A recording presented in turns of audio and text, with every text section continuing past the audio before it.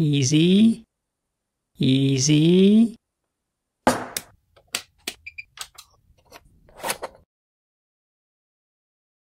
Hello, Internet. My name is Quinn, and this is Blondihacks. Today I'm going to show you three ways to make square holes. So let's go. The first and most important question to answer is, do you actually need a square hole? Something that I learned managing engineering teams for many years is that people will spend enormous resources solving the wrong problem just because it was the first problem they saw. Here's a little fly cutter that I made many years ago for a specific operation, and it has a square tool bit in it, so it made sense to me at the time that I should make a square hole. And I did this with the first of the methods that I'll show you today. And it took a lot of time. And then years later, I did a similar thing with this grooving tool, and well, turns out whoever said you can't put a square peg in a round hole just needed to buy bigger drills. For a lot of operations, like this simple grooving tool, you can just make a round hole and the set screw that holds it in there, in this case it holds it in from the end, will hold it just fine. Another easy way to avoid square holes is to start with round tool bits. This is a spot facing tool that I made recently for a couple of operations.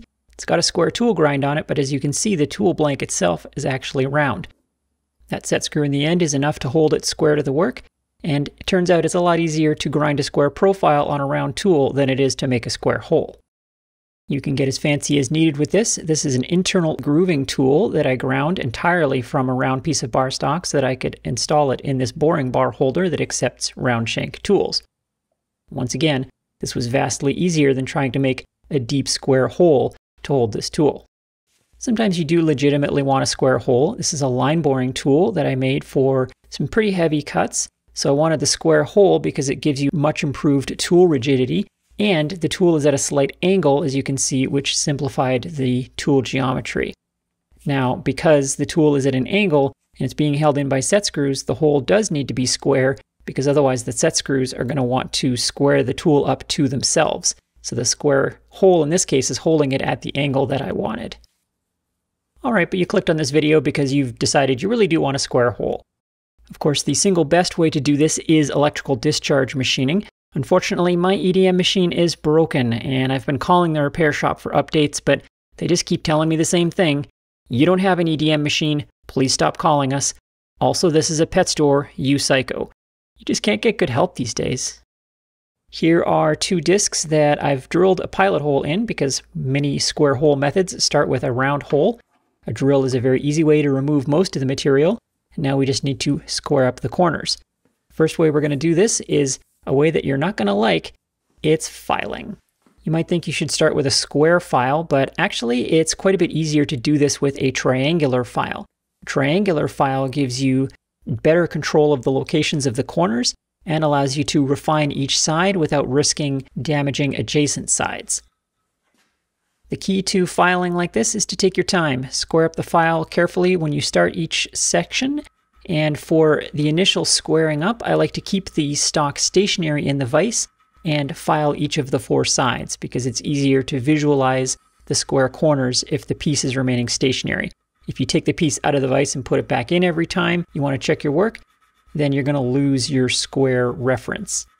Now this won't be easy the first time you do it, and the first time you do it, the result won't be Clickspring good. This just takes practice. There is a lot of skill in filing, and there's no way around that but go slow, take your time. You can improve your dimensional and positional accuracy substantially by scribing a square on the work before you begin. You can do that on the surface plate, for example, and that will really, really help. If you've got a line that you're filing to and you check your work frequently, you can get extremely accurate with filing, and lots of practice, of course. When the basic square is established, I then like to switch to this file. I'm not sure what it's called. I don't know the names of all the needle files but this has safe edges and a safe back. And this is kind of like an even safer version of the triangular file. You can get right into the corners to change the angle of a side slightly or enlarge it slightly without any risk of damaging adjacent sides or shifting your corners or deepening your corners when you don't want to. And listen, don't be afraid to give this a try and don't be discouraged if your results aren't great the first time out of the gate. There are people on YouTube who make this look very easy, but it does take a lot of practice, but you can do it. Machinists have been making complex features of all shapes and sizes with files for 100 years. They did it, you can do it too. Now, I'm certainly not great at this. This hole is, you know, a little bit artisan. It's a little crooked, little bit out of shape, but it uh, it's a square hole. And for most things, this is probably just fine. That would hold a tool bit just fine. Or if you're going to silver solder a square piece of stock in there for a model, it would look just fine. And this really didn't take very long. And again, if I had scribed the square on the piece before I started, it would look a lot better. I just freehanded it and eyeballed it for the purposes of this demo. For the second method of squaring up the corners of that round hole, we're going to use a square broach. Just looking at these things, you can see exactly how they work. It starts with a round boss and some round teeth that gradually get squarer and larger as it goes up. Each tooth is doing the minimum amount of work to change and enlarge the hole slightly into the square shape that it needs to be. The little boss at the bottom tells you how big your pilot hole needs to be. Mine's a little bit too small, so I enlarged that. And you want that to be a very close fit in there because that pilot hole is what holds the broach straight when you get started. Got to make sure that you've got enough room below the work for the broach to pass through. These things can get very long, so you might need to have a hole in your bench underneath your press, or you can have a special press stand which has a cutout in it, or for fairly small broaches like this, you can prop up the work a little bit to give you a little bit of extra real estate. The other important thing to know about broaches is that they take a lot more force than you think. This is a 3 16th square broach. Up to about a quarter is probably the largest I can do on this little two ton arbor press that I have. Any bigger than this, you're really probably going to need a hydraulic press.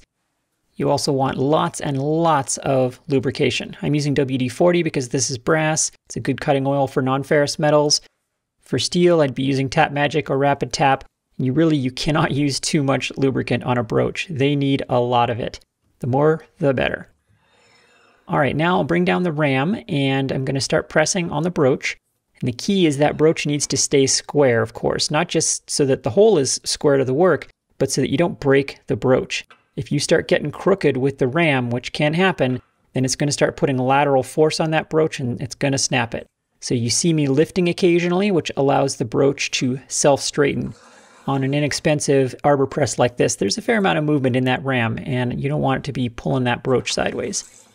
But as you can see, I'm just working my way down. This is actually very satisfying. You can really feel each tooth cutting, and it's a pretty neat process. In brass, it's pretty easy. In steel, I'd be pushing a lot harder, and I would have the press bolted to the bench.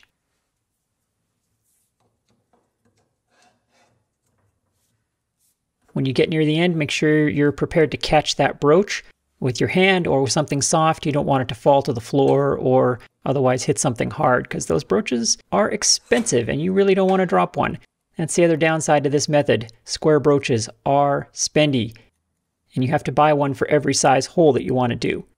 However, the result is very nice. As you can see, it's got very nice square corners and this is going to be extremely positionally accurate because it's exactly centered itself on the pilot hole that we drilled and it's going to be very dimensionally accurate in the corners at least.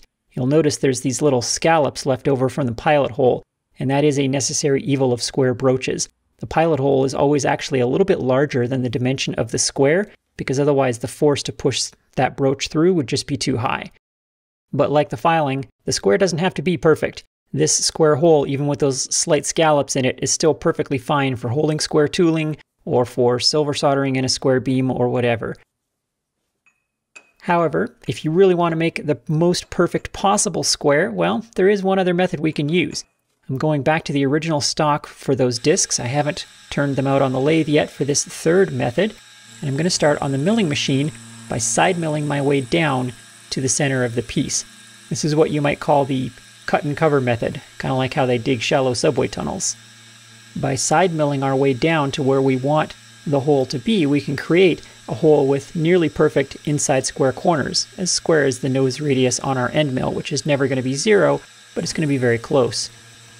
This method is also going to give us pretty much as perfectly dimensionally and locationally accurate a square hole as you can get, because we're doing this depth of cut with the DRO, and the end mill is going to be cutting an accurately widthed hole, so the resulting square is easily within a thousandth of size and position.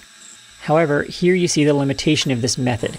I've run out of depth on this end mill. This is also why I'm making this square larger than I did the other two, because I don't have any small end mills that can cut deep enough into the work to reach the location of this square. So that is a limitation. You have to be able to reach the location of the square from the outside of your part somewhere. In this case, I happen to have a long reach end mill that I'll swap in to get that last little bit of depth of cut I need to get to the center of this disc. However, these really long reach end mills are notoriously floppy, and you can only take the very lightest of cuts with them. That's why I started with the shorter one, and I'm just going to do the last couple of finishing cuts to get down to final depth with this end mill.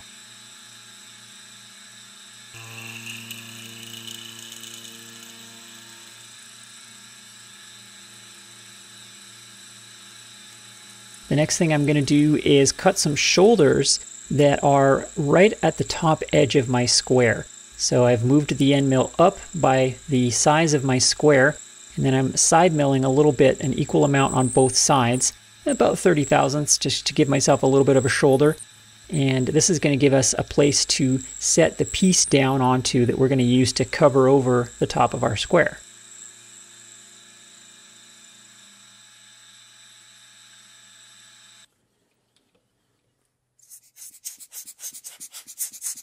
Here's where we're at so far. You can see three sides of our square at the bottom, and then there's the little shoulders at the top of our square that our filler piece is going to sit on.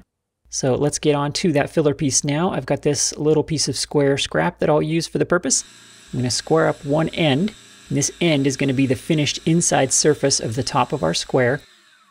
Then I'll mill two other sides of this piece parallel to each other and down to a very close fitting dimension on that slot that we cut at the top of the square. This needs to be as accurate as you can get it, but as you can see, I only need to mill three sides of the piece. The two long sides and then the short side that will form the top of the square, because the rest of these sides are going to be machined away in a final cut.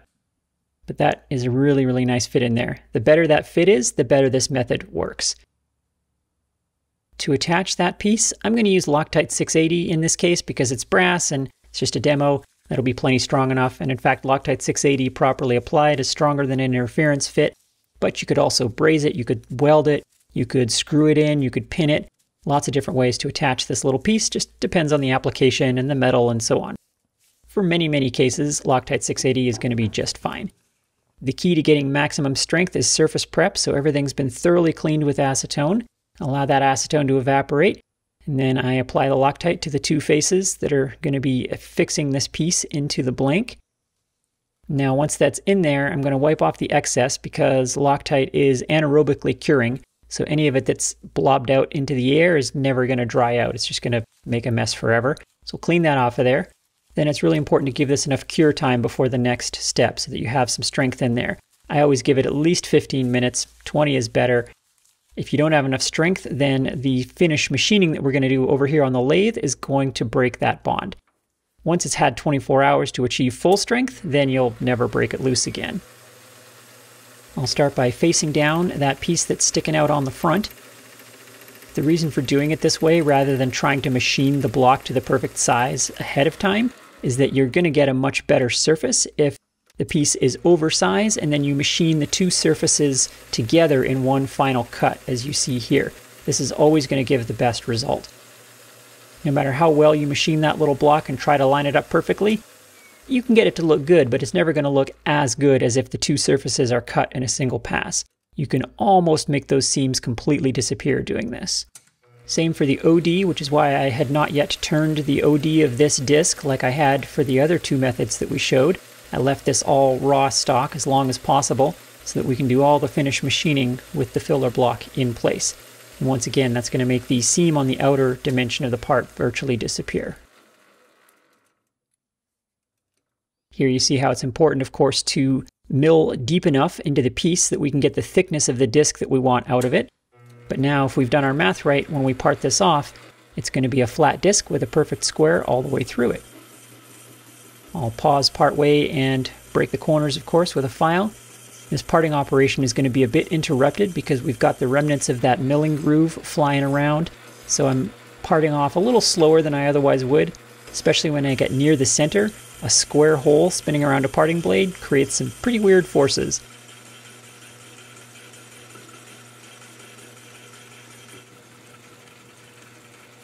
And Yahtzee. The detritus that's left behind from that is pretty interesting on the stock, but that's okay. What matters is what we got left with, and that is this beautiful little disc with a very nice square hole in it. This method I think is just about as perfect as you can get with manual machine tools, but of course this method took much, much longer than the other two and did use two machine tools as opposed to the first one which used zero machine tools and the second one which just needed a little press. So that's how machining goes. The more perfectly accurate and pretty you want something, the longer it's going to take and the more expensive the tools get. This third method was used for both of the parts in this letter punch fixture jig thing that I made several years ago. I really wanted perfect inside corners on both of these, so this is the method that I used. On the stainless steel piece on top, I used Loctite to seal the piece in, and on the brass piece, I used pins to seal those pieces together. But as you can see, there's really no limit to how nice you can make that with careful machining.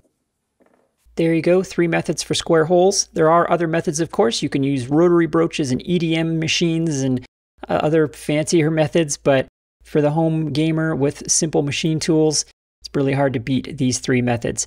Which method you use depends on how much time you want to spend on this, how perfect it needs to be, what tooling you have, and so on. Hopefully there was something in here that was helpful. Thanks to my patrons for making all of this happen every week, and I will see you next time.